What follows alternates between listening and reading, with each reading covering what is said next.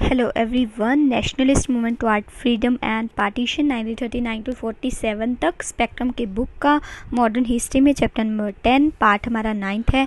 ये काफ़ी लेंथी था इसीलिए इसके पार्ट्स आ रहे हैं ठीक है?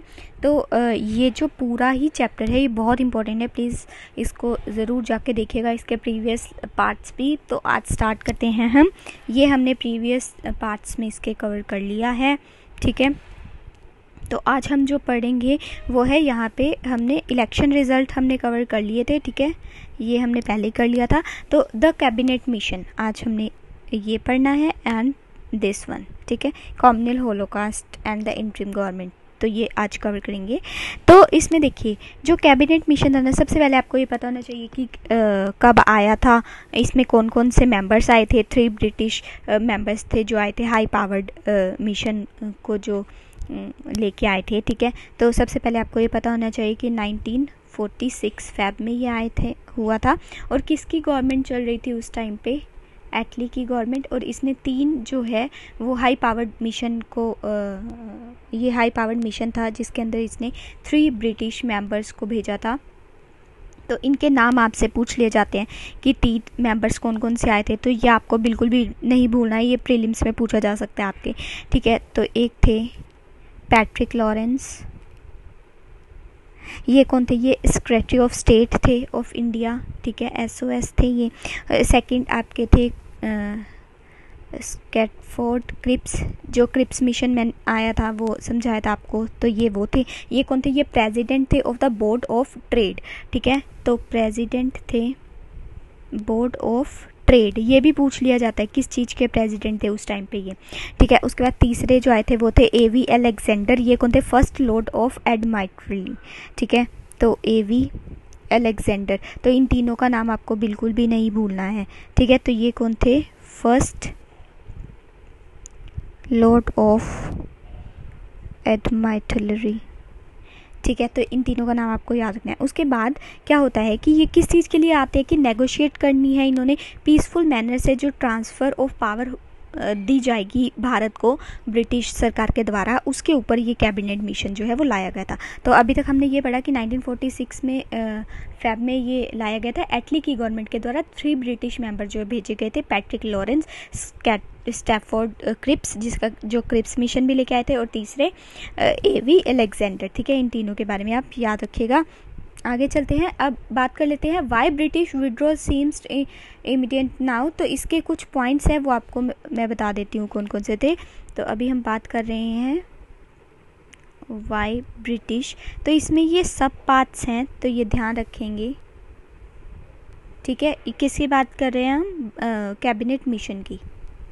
सीम्ड एमिनियंट नाउ ठीक है तो इसमें फ़र्स्ट पॉइंट में आपके पास ये आएगा कि जो सक्सेस था नेशनलिस्ट फोर्सेस का स्ट्रगल उस मूवमेंट में वो एक फेयरली एविडेंट था, लेकिन उसके ये कब हुआ था? जब वॉर ख़त्म हो गया था at the end of the ठीक है, उसके बाद नेशनलिस्ट नेशनलिज्म जो था वो एक तरह से अनटच्ड रह गया था कुछ सेक्शन ऑफ़ सोसाइटी से। मतलब आपको भी पता है कि जो नेशनलिज्म की भावना अगर स्टार्टिंग से सब में होती तो शायद भारत काफ़ी जल, जल्दी आज़ाद हो जाता। लेकिन कुछ कुछ जगह पर ये नेशनलिज्म जो है वो अनटचड रह गया, कुछ सोसाइटीज़ एंड कुछ सेक्शंस एंड कुछ एरियाज़ के अंडर ठीक है तो पहली बात आपके पास ये आएगी, जो success of the nationalist forces struggle थी, वो फेयरली एविडेंट हुआ at the end of the war जब सेकेंड वर्ल्ड वॉर फिनिश हुआ। सेकेंड वर्ल्ड वॉर का जब एंड हुआ, तभी जो है नेशनलिज्म जो है वो ज़्यादा जगह पर हमें देखने को मिला एंड उससे पहले कुछ जगह पर अन टचड रह गया, ठीक है? तो untouched nationalism before it in some sections and the areas ठीक है? तो ये आप याद रखेंगे। और जो सेकंड पॉइंट है, वो कहता है कि जो डेमोन्स्ट्रेशंस किए जाते थे अमंग द ब्यूरोक्रेसी और लॉयलिस्ट सेक्शंस में, क्योंकि ICS recruitment and policy of Indianisation had and did the British domination of ICS जो कि फ़र्स्ट वर्ल्ड वॉर के टाइम पे हुआ था एंड 1939 के टाइम पे जब ब्रिटिश इंडियन पैरिटी हुई थी। ठीक है? तो अब क्या होने लगा कि ये जो ब्रिटिशर्स थे, जैसे कि मैंने आपको बताया कि ये एज भी कम कर देते थे आईसीएस की, लेकिन उसके बाद भी काफ़ी हमारे भारतीयों ने जो है आईसीएस की परीक्षा को पास किया, लेकिन उसके बाद जो है वो डेमोक्रेटाइजेशन करने की बात की गई कि ऐसा नहीं होना चाहिए कि इंग्लिश में ही हो या फिर एज आप इतनी लो कर दो, ठीक है? इसके लिए भी फिर लोग सामने आने शुरू हो गए कि जो है इंडियंस को भी हाई पोस्ट रैंक्स जो है वो प्रोवाइड करवानी चाहिए। फिर उसके बाद जो लॉन्ग वॉर चलता है, वो एक मतलब इकोनॉमिक वरीज लेके आता है, जिसके कारण से फिर रिक्रूटमेंट जो है वो इंडियंस को ही मिलनी, ज़्यादा इंक्लूड करना शुरू कर देते हैं वो, ठीक है? और वॉर के बाद तो ब्यूरोक्रेसी जो है वो नाइनटीन फोर्टी टू से ही ले लीजिए तो ये काफ़ी सारे जो है इंडियंस को भी रिक्रूट किया जाता है। उसके बाद द ब्रिटिश थर्ड पॉइंट हमारे पास आ जाता है, ये मैंने आपको समरी टाइप में बता दिया है, ठीक है? आईसीएस वाला आप को लेके चलना है पॉइंट। और थर्ड पॉइंट में कि जो ब्रिटिश की स्ट्रेटजी होती थी रिप्रेशन करने की, ठीक है? उसके अंदर भी कुछ लिमिटेशंस एंड कॉन्ट्राडिक्शंस थी, जैसे कि अगस्त ऑफ़र जो आया था, वो किसके ऊपर था? फॉर द कंसाइलेशन के लिए एक्सेप्ट द फुल फ्रीडम कि आपको फुल फ्रीडम नहीं मिलेगी, लेकिन आपको याद होगा क्रिप्स मिशन में मैंने आपको बताया था कि डोमिनियन स्टेट स्टेटस देने की बात कर देते हैं। लेकिन यहाँ पे वो क्या नहीं देने की बात कर रहे फुल फ्रीडम देने की बात अभी नहीं कर रहे। उसके बाद इसी में ही मतलब थर्ड पॉइंट में कि वो कैसे ब्रिटिशर्स रिग्रेशन में की पॉलिसीज़ लेके आते थे, कि जो नॉन वायलेंट रेजिस्टेंस था, वो भी रिप्रेस किया जाता था by the force and next force behind the government stood exposed और गवर्नमेंट जैसे ही जैसे लाठीचार्ज वगैरह करती थी या अगेंस्ट होती थी इंडियंस के तो वो एक्सपोज हो जाती थी चीज़ें कि हाँ जो ब्रिटिशर्स हैं, वो बहुत क्रूअल है टुवार्ड्स द इंडियंस ठीक है? उसके बाद उनकी जो प्रेस्टीज थी, उसमें भी फिर सफ़र करते हैं वो। मतलब कि अगर तो वो अच्छा बिहेव करेंगे विद द इंडियंस तभी तो इंडियंस कहेंगे कि हाँ नहीं ब्रिटिश सरकार सही है। लेकिन जब वो अपनी रिग्रेसिव पॉलिसीज़ लेके आएँगे अगेंस्ट द इंडियंस तो वो क्यों कहेंगे? तो उनके प्रेस्टीज में फ़र्क पड़ेगा ही पड़ेगा। ठीक है एंड इसी में ही थर्ड सब पॉइंट ये है कि जो एफर्ट्स किए जाते थे by the Congress dismiss by the loyalist, ठीक है? और जो पॉलिसी थी वो अनक्लियर थी, या मतलब कि बिल्कुल भी क्लियर नहीं थे डेलेमा में थी कि कैसे पॉलिसीज़ को जो है वो इम्प्लीमेंट किया जाए। और जो प्रोस्पेक्ट था ऑफ़ कांग्रेस मिनिस्ट्रीज़ का coming to power in the provinces further compounded this dilemma तो कांग्रेस मिनिस्ट्रीज़ को कैसे पावर में लेके आना है प्रोविंसेस के अंदर, ये भी बिल्कुल भी कुछ भी क्लियर नहीं था। तो थर्ड पॉइंट पे हमने बात की कि जो ब्रिटिश की रिग्रेसिव पॉलिसीज़ थी उसमें भी काफ़ी सारी लिमिटेशंस थी एंड कॉन्ट्राडिक्शंस थी। ठीक है? उसके तीन पार्ट मैंने आपको बताए। अभी फोर्थ पॉइंट में हम बात करेंगे कि कांग्रेस राज की जो कॉन्स्टिट्यूशनलिज्म या फिर कांग्रेस राज आप बोल सकते हैं, वो प्रूफ हुआ as a big moral booster ठीक है? और काफ़ी सारे लोगों को help milli in deeper penetration of the patriotic sentiments ठीक है? तो कांग्रेस राज आने से क्या हुआ कि लोगों को नेशनलिज्म की भावना जागी, ठीक है? और पेट्रियोटिज्म उनमें जागा पेट्रियाटिक सेंटिमेंट्स उनमें जागे, ठीक है? फिफ्थ पॉइंट में आपके पास आएगा कि डिमांड्स थी जो आईएनए प्रिजनर्स की from within the army and the revolt of the R I N A ratings वो काफ़ी ज़्यादा बढ़ने लगी। एंड क्योंकि मैंने आपको अभी पीछे भी बताया था आई एन ए प्रिजनर्स को और वो सुभाष चंद्र बोस का भी कैसे वो कमांड संभालते हैं उनकी जापान में, फिर सिंगापुर में, ठीक है? और वो कैसे पहले जर्मनी जाते हैं, ठीक है? ये सभी बातें हम पुरानी वीडियोस में कर चुके हैं। तो इसमें क्या इन्होंने बोला कि जो आई एन ए प्रिजनर्स की जो डिमांड्स थी आर्मी के अंदर विद इन आर्मी वो भी इंक्रीज़ होनी शुरू हो गई।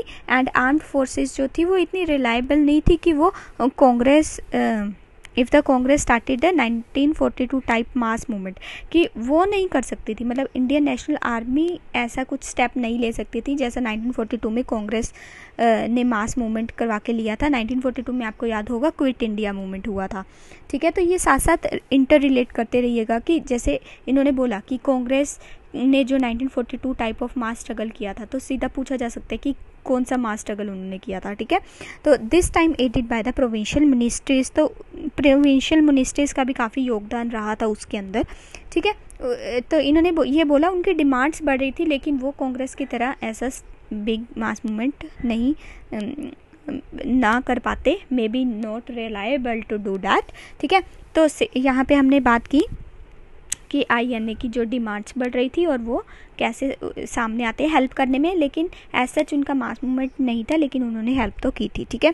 उसके बाद सिक्स पॉइंट में आपके पास आता है कि जो ओनली ऑल्टरनेटिव बचता है ऑल आउट रिप्रेशन का ऑफ़ द मास मूवमेंट जो हुआ था, ठीक है? उसके अंदर जो ऑफिशियल रूल था वो पूरा ऐसा लग रहा था कि इम्पॉसिबल होगा बट लेकिन फिर भी वो हुआ। हालाँकि क्विट इंडिया मूवमेंट में आपको याद होगा का, काफ़ी सारे लीडर्स को जो है वो जेल में इम्प्रिजन कर दिया गया था लेकिन फिर भी वो एक तरह से पूरा सक्सेसफुल ही आ, माना जाएगा। क्योंकि उसमें महात्मा गांधी जी ने भी थोड़ा सा वॉयलेंस का अलाउड कर दिया था उसको और डू एंड डाई का नारा दिया था ठीक है?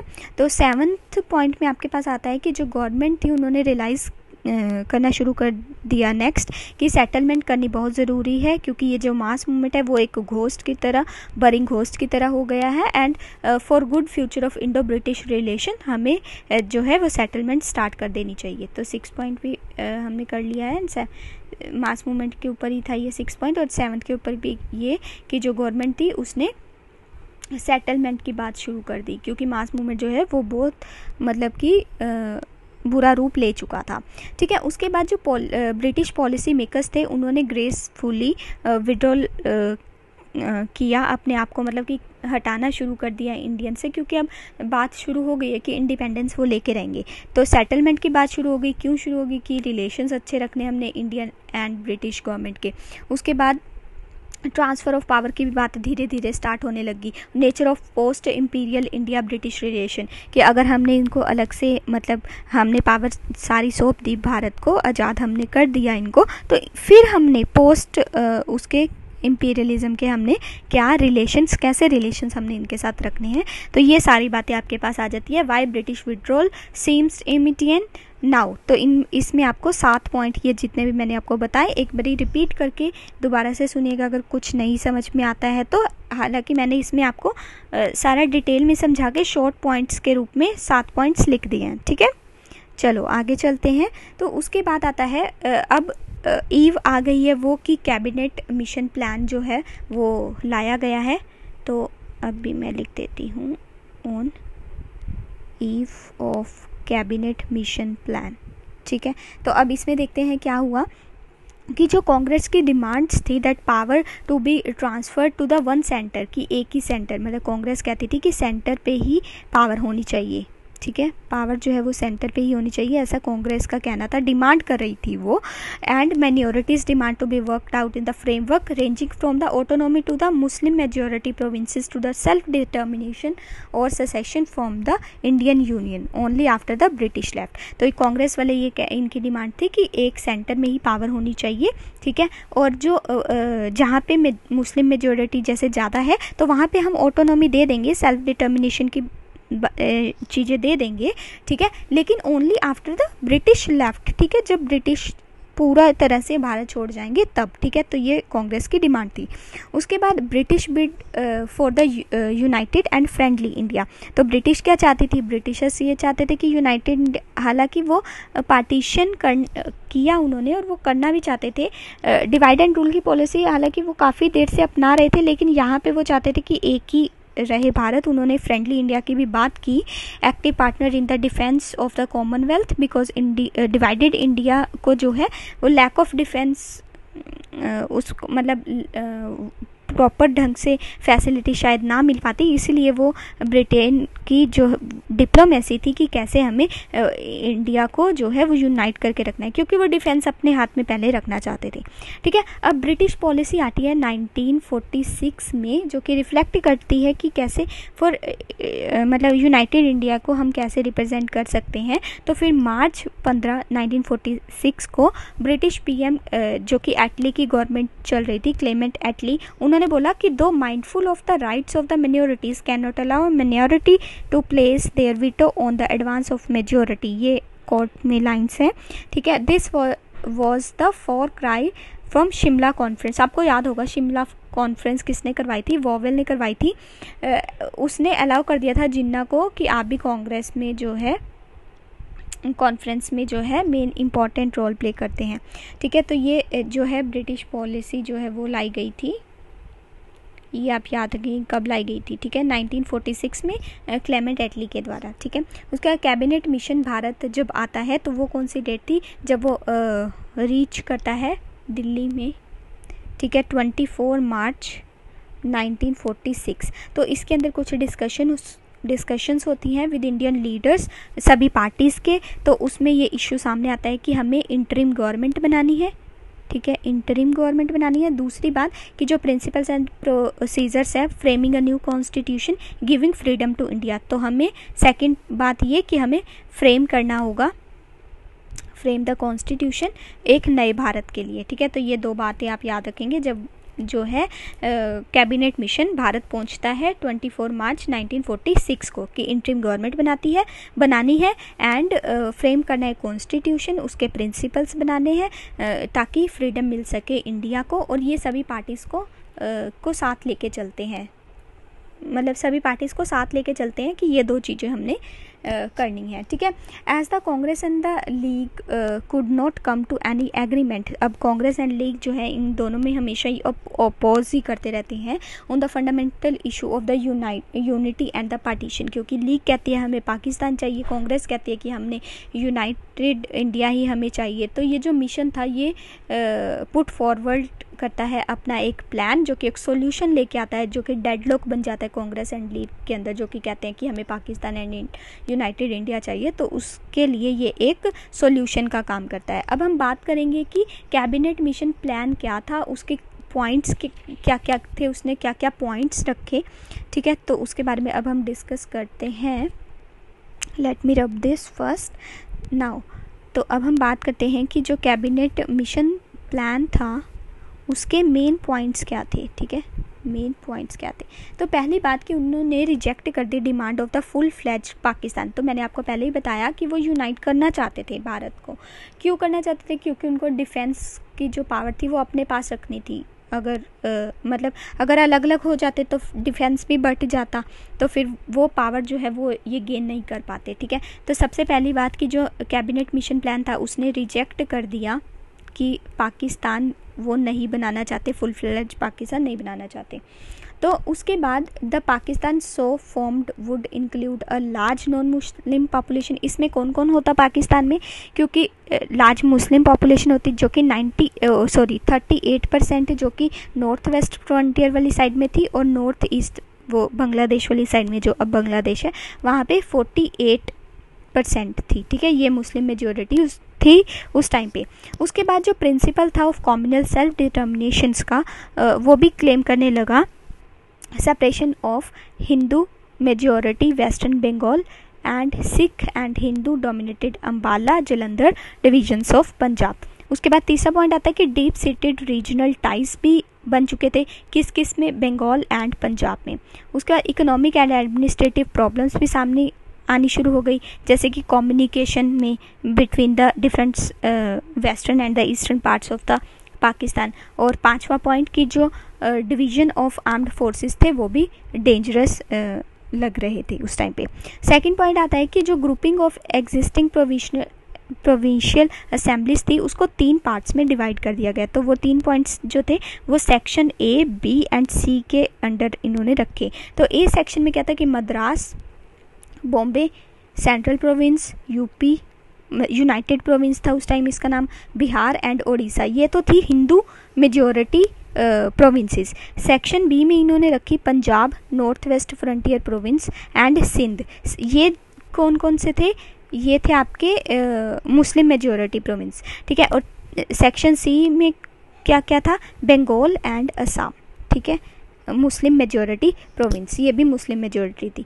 और ए वाली जो थी वो सिर्फ़ हिंदू मेजोरिटी वाले थे और बी एंड सी वाले जो थे वो मुस्लिम मेजोरिटी वाले थे, ये याद रखेंगे। और नेक्स्ट पॉइंट हमारे पास थर्ड पॉइंट में आएगा कि जो three tier executive and legislative थी, वो प्रोविंस पे एंड यूनियन लेवल्स पे जो है, वो बनाई गई। तो three tier executive and legislative province section बनाए गए। तो जो कॉन्स्टिट्यूंट असेंबली थी, वो भी इलेक्ट की गई by the provinces assembly by the proportional representation तो ये भी आप याद रखेंगे प्रोविंशनल रिप्रेजेंटेशन के बेसिस पर उसको बनाया गया। ठीक है? हाँ जी तो उसके बाद ये एक तरह से क्या दिखाता था कि गुड डेमोक्रेटिक मेथड है not based on the weightage ठीक है? एंड फोर्थ पॉइंट आपके पास uh, आएगा कि जो मेंबर्स थे from the groups A B C उसको सेपरेटली बिठाने का डिसाइड किया गया uh, in the provinces and also the whole constituent assembly would sit to formulate the union constitution and next point आपके पास आएगा कि जो कंट्रोल uh, था of defence communication and external affair का वो एक कॉमन सेंटर पे ही रहेगा वेरी इंपॉर्टेंट पॉइंट कि जो आपका डिफेंस कम्युनिकेशन एक्सटर्नल अफेयर है, वो आपका किसके पास रहेगा? सेंटर पे ही रहेगा। ये प्लान था किसका? कैबिनेट मिशन का। उसके बाद कॉमन सेंटर ये हो गया एंड कॉम्बिनियल क्वेश्चन जो रेस किए जाएँगे इन द सेंट्रल लेजिस्लेटिव वो भी डिसाइड करेगी simple majority of the both communities present and voting ये भी याद रखेंगे। And full autonomy and resident power दी जाएगी किसको? प्रोविंसेस को। Very important point princely state were no longer to be under paramountcy of the British government मतलब British government के अंदर नहीं रहेंगे प्रिंसली स्टेट्स उनको फ्री कर दिया जाएगा कि वो अपना सक्सेसर गवर्नमेंट चुन सके और द ब्रिटिश गवर्नमेंट के अंदर वो आ सकती है। ठीक है? मतलब उनको फ्री चॉइस दे दी उन्होंने। और फिर जब फ़र्स्ट फ़र्स्ट इलेक्शंस होंगे after the first elections health province was to be free हो सकता है वो of a group and after the ten year a province was free to call for the reconsideration of the group और union constitution meanwhile an interim government to be formed from the constituent assembly तो ये सभी points जो हैं इसके under आएँगे। मैंने एक बारी से ये पॉइंट्स आपको बता दिए हैं। तो आई थिंक आपको ये समझ में आ गए होंगे। एक बारी रिपीट करके भी सुन लीजिएगा। अगर नहीं आए एक बारी यहाँ पे मैं ये वाला चैप्टर आज का पार्ट ये ख़त्म कर रही हूँ, क्योंकि ये काफ़ी लंबा हो जाएगा, नहीं तो फिर आपको समझ नहीं आएगा, ठीक है? अभी एक बारी से ये सुनिएगा। नेक्स्ट पार्ट में मैं आपको एक बारी इन सभी पॉइंट से दोबारा से गो थ्रू कर दूँगी। ठीक है? Thank you